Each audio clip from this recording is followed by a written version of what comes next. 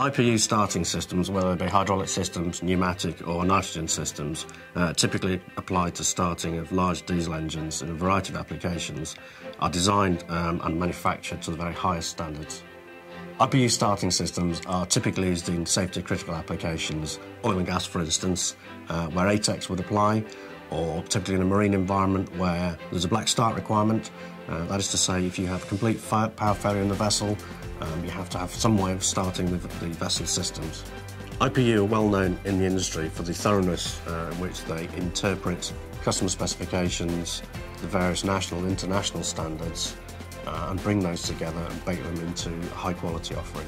Uh, we do have a good uh, relationship with IPU, especially when we develop new hydraulic starting systems, where we will provide as much information as we can, and even sometimes a, a, an engine for them to use as a template.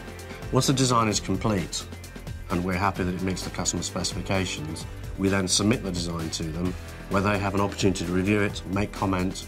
We will bake into the design any changes they require uh, before it is then actually committed to steel.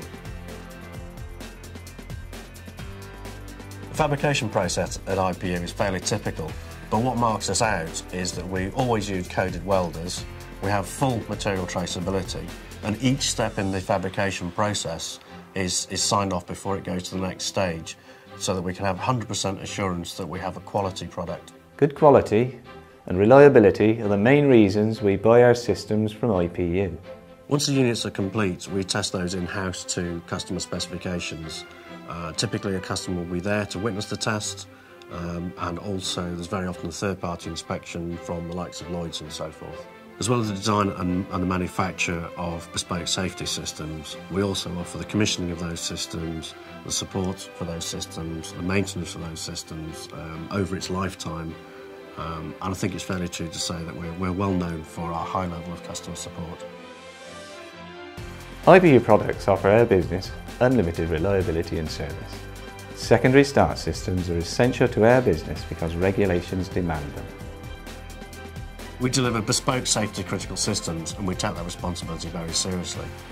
The only way we can deliver on that responsibility to the customer is to take control of the entire design and manufacturing process from start to finish.